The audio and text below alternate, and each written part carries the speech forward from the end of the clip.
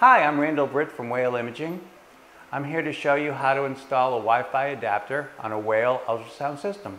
We do not supply the Wi-Fi adapter, but the D-Link shown here is an example of a wireless adapter that we have tested and found compatible with our system.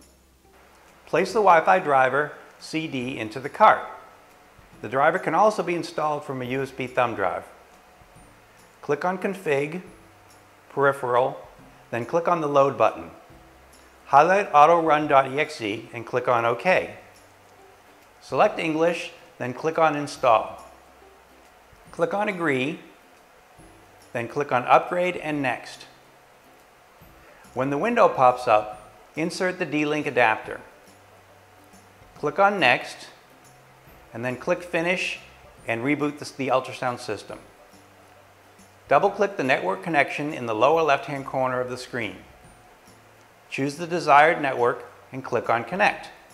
Enter the security key, then check the connection status and click on Cancel. You are now connected to your Wi-Fi.